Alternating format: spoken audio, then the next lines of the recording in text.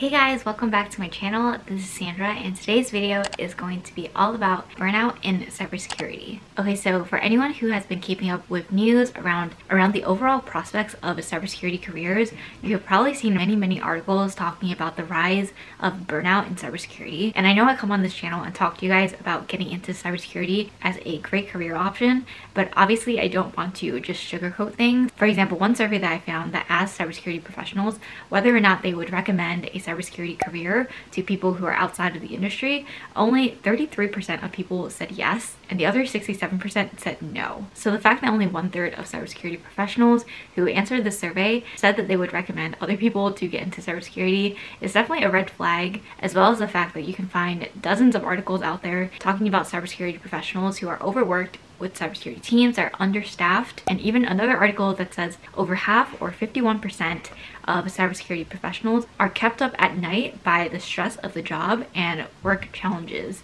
So that obviously is an alarming number and I've definitely had those times. So basically, I wanted to create this video to kind of share with you guys my experience as well as the different things that can lead to burnout, especially as a cybersecurity professional, as our jobs are very specialized and have very specific circumstances that you probably won't find in other jobs like software engineering or data science. Because cybersecurity is so events focused and incident based, anything can go wrong at any time and that is the thing that causes probably the most anxiety and stress in general across cybersecurity. And this could be for any role in cybersecurity, as well as whether or not you're entry level compared to someone in the C-suite, a senior cybersecurity professional, or someone who is a CISO. Okay, so let's start with one of the biggest things that probably lead to anxiety and stress at work and that is dealing with incident response, fire drills, emergencies, anything that comes up on a day-to-day -day basis that is unplanned and unexpected. So for most jobs, even jobs in tech, you go into a job, you know what you have to do for the day, you probably have assignments.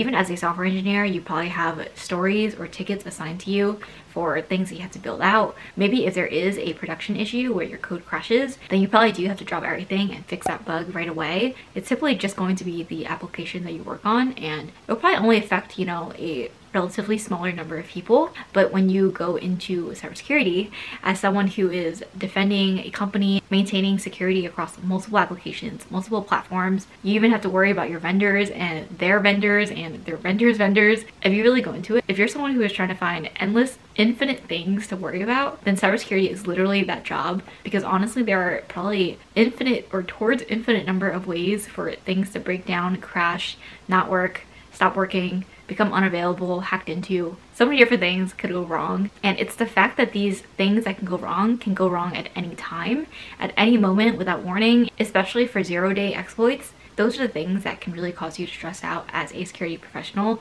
no matter where in the chain you are. I really do think that the way your company handles incident response is going to be the primary or one of the primary drivers of how much stress is caused to you because if you're working in an environment where where maybe there isn't really an incident response procedure laid out or maybe there is but it's not followed then when something does happen you're going to have a really really stressful time trying to get people together trying to manage all the moving parts the people the technology that are affected by the incident or the exploit or whatever the scenario is. And oftentimes incidents can span across multiple days. You can try your best to secure your perimeters, secure your applications, try to lock down everything as much as you can. But once in a while, there may be an incident, big or small, that comes to be, and you really wanted to make it as positive of an experience as possible with your cybersecurity team as well as every team that is involved. And really the best way to do that is to have a very good incident response procedure that people want to follow, people will refer back to, and actually has steps on what to do when things go wrong. And I'm so excited to thank BetterHelp as the sponsor of today's video. BetterHelp has customized online therapy that offers video, phone, and even live chat sessions with your therapist. So you don't have to see anyone on camera if you don't want to. What I love about BetterHelp is that it is online therapy at your fingertips and it's completely in your control. And what I also want to emphasize is that therapy is something that everyone can benefit from especially if you're someone who's watching this video and find that many of the topics that I've covered today about burnout resonates with you, it's really helpful to talk to a professional therapist about the things that you're going through. There's a broad range of expertise in BetterHelp's 20,000 plus therapist network that gives you access to help that may not be available in your area. It's really easy to get started and you just need to fill out a quick questionnaire to help assess your specific needs and then you get matched with a professional therapist within 48 hours. Join the 2 million plus people who have taken charge of their mental health with an experienced BetterHelp therapist. You can get 10% off your first month at betterhelp.com slash Sandra, which is also linked in the description below. And something that I've come to learn is that you definitely will not regret investing in your mental health. So thank you so much to BetterHelp for sponsoring and let's get back to the rest of the video.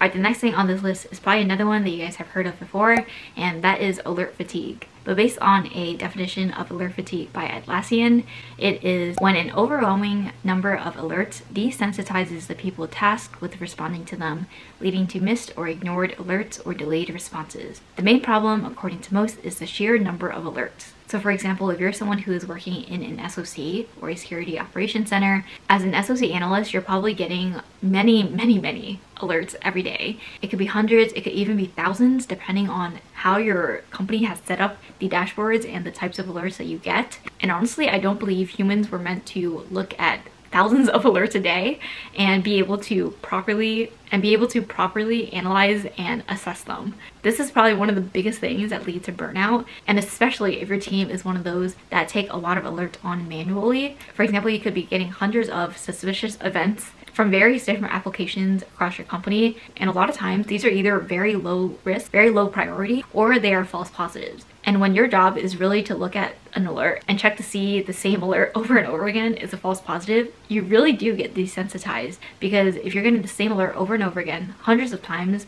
a week and it's exactly the same, then you're probably not going to look into it as deeply as you would if you only saw it once a week or once a month. And one of the best ways to avoid alert fatigue is really through automation. So whatever reporting dashboards or metrics or scanning tools that you're using, try to make sure that they're optimally automated so that you're not getting the same alerts over and over and over again. And if there's an alert potentially that your company thinks isn't a high risk and maybe the development team has it in their backlog to fix, for now you're just getting these alerts in the meantime, then try to see if there's a way for you to shut off that alert, especially if it's one that is already considered a low risk and low priority for your company. It may take weeks, months for the engineering teams to even get to it and fix it. And in the meantime, it's really just flooding your system with the same alert over and over again. It really takes up space in your mental capacity, taking time away from other alerts that may actually be important and may actually need action taken. Number three on this list is the fact that cybersecurity teams typically have smaller team sizes. And I do want to emphasize the word typically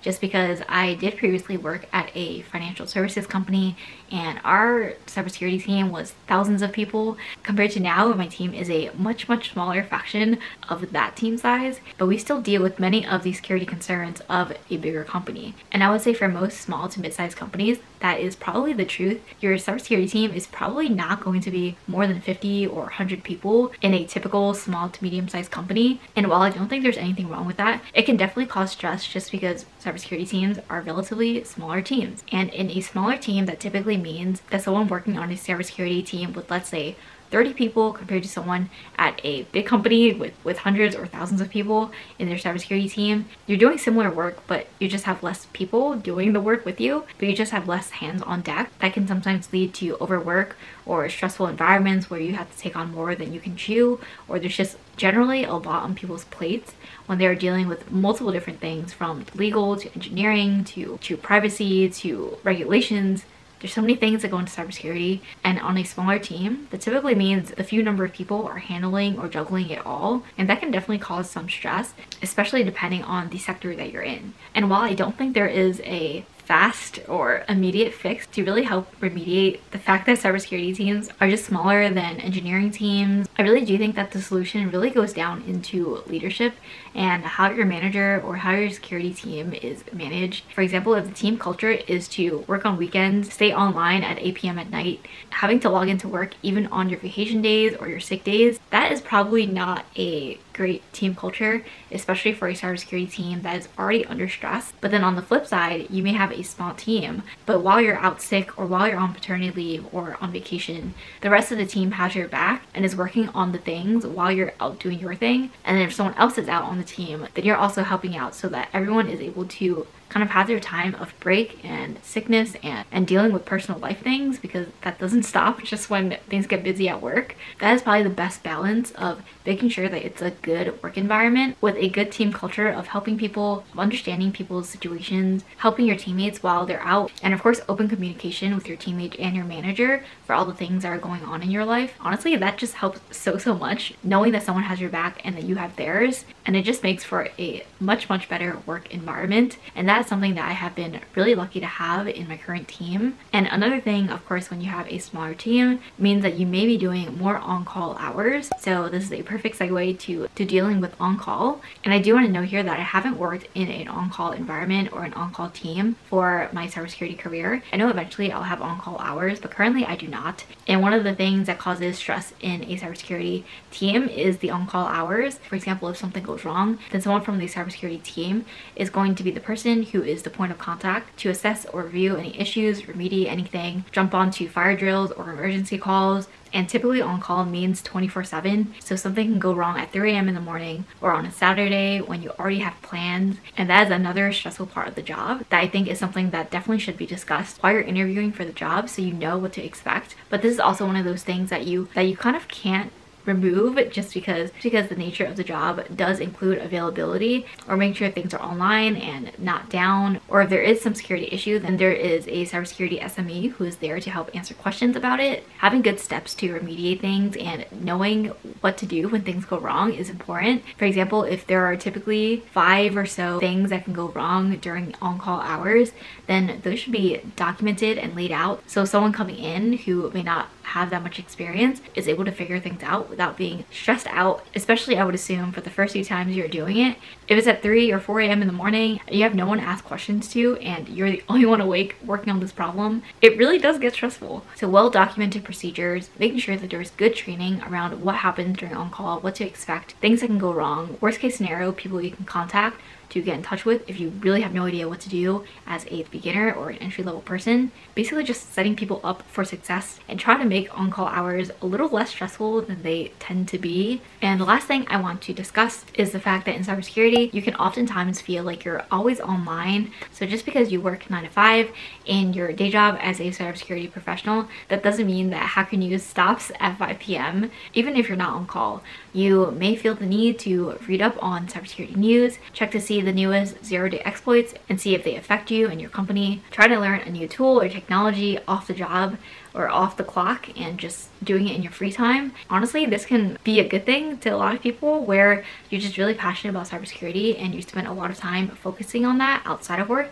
as well as during work. But on the flip side, that can also mean that you that you are always thinking about work. And that is something I think is is not a good way to live life, especially for people who for example, go on vacation, but they're constantly anxious about checking work emails or getting service to check to see if there was anything that went wrong at work. And especially in cybersecurity, I think a lot of that ties back into the fact that you always feel like you need to be online checking things, checking for updates, new vulnerabilities, or anything that has to do with cybersecurity and hacker news. And the fact that it's so fast paced and can come at any minute, any hour of any day, that is one of the most stressful things. And while you can't stop those, that is the case for many of the cons of working in cybersecurity.